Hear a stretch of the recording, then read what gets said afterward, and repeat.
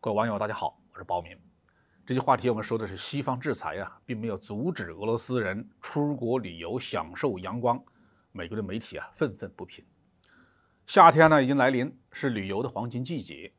西方媒体最近发现呢，俄罗斯老百姓呢并没有因为战争被封锁在自己的家里，在飞往土耳其、埃及和泰国的旅游线路上挤满了俄罗斯人，而且呢，他们乘坐的是波音或空客的飞机。俄罗斯人和所有国家的老百姓一样，都喜欢出国旅游。我们国家老百姓呢，最喜欢去的是新马泰，是吧？因为距离比较近嘛，费用呢也承受得起。经济实力强一点的啊，已经周游世界了。俄罗斯主要人口聚居区在欧洲，所以在乌克兰战争爆发之前呢，我们在欧洲历史名城的大街小巷里面能见到不计其数的俄罗斯的游客，甚至还有不少的俄罗斯退休的夫妻会自驾车开到西班牙去，因为地处寒冷嘛。俄罗斯人对阳光、沙滩和热带有强烈的兴趣。除了中国的三亚和北戴河，在土耳其啊、埃及啊，甚至东南亚也能见到很多的俄罗斯人。乌克兰战争爆发以后，欧洲就再也见不到俄罗斯的游客了。这完全是欧洲国家政府自寻烦恼，为了迎合美国的政治立场，砸了自家旅游业者的饭碗。由于印度、中国并没有追随美国对俄罗斯搞全面制裁啊，所以俄罗斯的石油、天然气、煤炭、小麦。还能大量的出口，战争打了一年多，虽然前线的情况呢不算很理想，但是俄罗斯后方的老百姓的生活并没有受什么严重的冲击。二零二二年，俄罗斯的 GDP 甚至还有了百分之四点七的增长，对很多俄罗斯人来说还是有钱出国旅游的。对这个情况啊，美国政府是气急败坏却又无可奈何。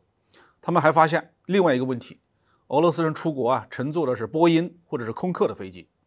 根据制裁条款，波音、空客已经不允许向俄罗斯提供飞机维护服务和零部件了。美国甚至禁止自己的盟国给俄罗斯的客机加油。这些俄国的飞机是怎么飞往全世界的呢？西方媒体关注了俄航的一些飞机，其中有一架波音777，尾号是 RA 七三幺三二，一直在莫斯科、北京、伊斯坦布尔、曼谷和马雷之间飞行。还有一架波音777，尾号是 RA 七三幺四四，飞行路线呢是新西伯利亚、莫斯科、土耳其的安塔利亚和伊斯坦布尔，还有泰国的普吉岛，然后回程。媒体跟踪发现呢，战争刚爆发，西方政府呢就命令自己国内的注册企业把租赁给俄罗斯的各个航空公司的飞机全部撤回来。但是俄罗斯政府的动作更快，把其中大部分没收了，大概有四百来架吧。随后呢？俄罗斯将其中的一百八十架注册为自己的飞机，其他的飞机不再飞行，干什么呀？用来拆零件给这一百八十架用。这当然不是长久之计了，但是坚持个几年是不成问题的。俄航呢还可以通过灰色渠道啊，通过土耳其和东南亚买到一些飞机的零配件。美国随后呢发布新的禁令，禁止其他国家向这些飞机提供加油、维护、修理、提供备件或者是其他的服务。民航飞机可以回到俄罗斯再修理，那加油问题怎么办呢？比如说新西伯利亚和普吉岛之间的飞行接近八个小时，离开泰国之前呢必须加油啊。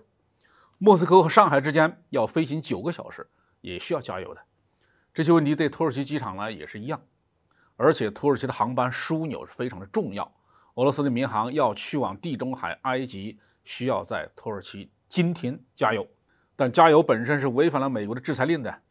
土耳其有两家最大的民航服务公司，分别叫做哈瓦斯和 TGS。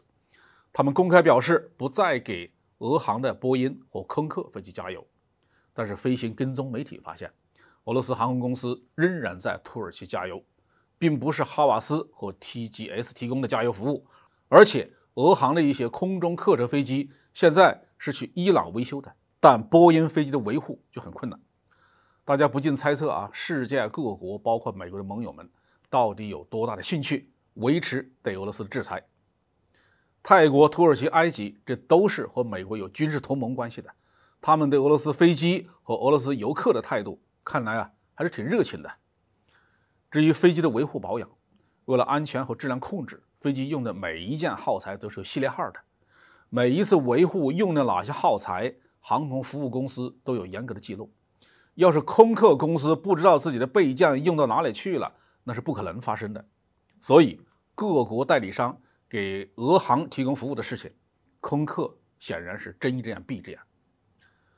加油的问题呢就更容易解决了，包括土耳其、埃及、泰国在内，注册一个新公司给俄航加油，那实在是太容易了。至于中国，我们没有加入对俄罗斯的制裁，俄航无论在中国的哪个机场都可以加满油再走。民航飞机的寿命很长，俄罗斯手里的空客飞机呢，至少还能飞十五年以上。所以，如果美国还不打算推动和平进程，顽固的要求泽连斯基政府继续打下去，恐怕令美国政府尴尬的事情会一件接一件发生。好，这期话题我们就评论到这里。